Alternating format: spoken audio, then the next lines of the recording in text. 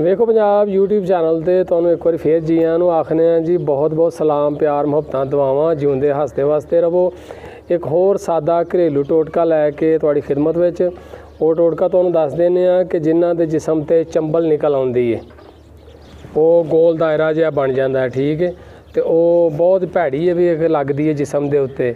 ਤੇ ਜਿਹੜੀ ਫਿਰ ਉਹ ਵੱਧਦੀ ਜਾਂਦੀ ਹੈ ਫੈਲਦੀ ਜਾਂਦੀ ਹੈ ਬਹੁਤ ਸਾਰੇ ਲੋਕ ਦਵਾਈਆਂ ਲੈਂਦੇ ਨੇ, ਫਿਰ ਉਹ ਟੀਕੇ, ਇੰਜੈਕਸ਼ਨ ਸਾਰਾ ਕੁਝ ਕਰਦੇ ਨੇ, ਅਗਰ ਆਰਾਮ ਨਹੀਂ ਆ ਰਿਹਾ ਤੁਹਾਡਾ। ਤੇ ਘਰ ਦੀ ਚੀਜ਼ ਤੁਹਾਨੂੰ ਦੱਸਨੇ ਆ, ਇਨਸ਼ਾਅੱਲਾ ਤੁਸੀਂ ਕਰੋਗੇ ਤਾਂ ਬਿਲਕੁਲ ਉਹ ਬਿਮਾਰੀ ਜੜ ਤੋਂ ਮੁੱਕ ਜਾਏਗੀ। ਉਹ ਕਰਨਾ ਤੁਸੀਂ ਇਸ ਤਰ੍ਹਾਂ ਹੈ ਕਿ ਆਪਣੇ ਕਿਚਨ ਵਿੱਚ ਜਾਣਾ ਉੱਥੋਂ ਹਲਦੀ ਲੈਣੀ ਹੈ, ਪੀਸੀ ਹਲਦੀ ਜਿਹੜੀ ਹਾਂਡੀਆਂ 'ਚ ਪਾਈ ਦੀ ਹੈ।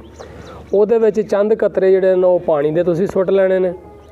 ਉਹ ਪਾਣੀ ਦੇ ਤਰੋਪੇ ਪਾਣ ਤੋਂ ਬਾਅਦ ਨਾ ਜਿੱਥੇ ਵੀ ਜਿਸਮ ਦੇ ਚੰਬਲ ਹੈ ਨਾ, ਉਹਦੇ ਉੱਤੇ ਉਹ ਹਲਕਾ ਜਿਹਾ ਲੇਪ ਕਰ ਦੇਣਾ। ਦਿਨ 'ਚ ਦੋ ਦਫਾ ਕਰੋ ਤੇ ਖਾਸ ਕਰ ਜਦੋਂ ਤੁਸੀਂ ਸੌਣਾ ਨਾ, ਤੇ ਉਸ ਤੋਂ ਪਹਿਲੇ ਉਹ ਤੇ ਲੇਪ ਕਰਕੇ ਨਾ, ਉਹਨੂੰ ਮਲਣਾ ਨੇ ਰਗੜਨਾ ਨਹੀਂ, ਬਸ ਲੇਪ ਕਰਕੇ ਉਹਨੂੰ ਛੱਡ ਦਿਓ। ਤੇ ਅਗਰ ਕੋਈ ਚੀਜ਼ ਉੱਤੇ ਬੰਨਣੀ ਹੈ, ਕੋਈ ਟਾਕੀ ਰੱਖ, ਕਿਉਂਕਿ ਰਾਤ ਨੂੰ ਜਦੋਂ ਸੌਵੋਗੇ ਤੇ ਬਿਸਤਰੇ ਰਜ਼ਾਈ ਨਾਲ ਲੱਗ ਜਾਏਗਾ ਤੇ ਉਹ ਲੈ ਜਾਣੀ ਹੈ, ਫਿਰ ਅਸਰ ਨਹੀਂ ਰਹੇਗਾ। ਹਲਕੀ ਜੀ ਕੋਈ ਕੋਰੀ ਟਾਕੀ ਜਿਹੜੀ ਹੈ ਨਾ, ਉੱਤੇ ਬੰਨ ਲਵੋ, ਤਾਂ ਕਿ ਉਹਦਾ ਜਿਹੜਾ ਫਾਇਦਾ ਜਿਹੜਾ ਨਾ, ਉਹ ਰਵੇ। ਠੀਕ ਹੈ?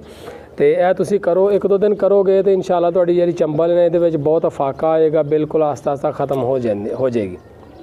ਠੀਕ ਹੈ? ਇਹਨੂੰ ਅੱਗੇ ਵੀ ਸ਼ੇਅਰ ਕਰੋ ਤਾਂ ਕਿ ਹੋਰ ਲੋਕਾਂ ਦਾ ਵੀ ਭਲਾ ਹੋਏ, ਫਾਇਦਾ ਹੋਏ। ਸਦਕਾ ਜਾਰੀਆ ਸਮਝ ਕੇ ਕਰਿਆ ਕਰੋ। ਸਹੀ ਹੈ?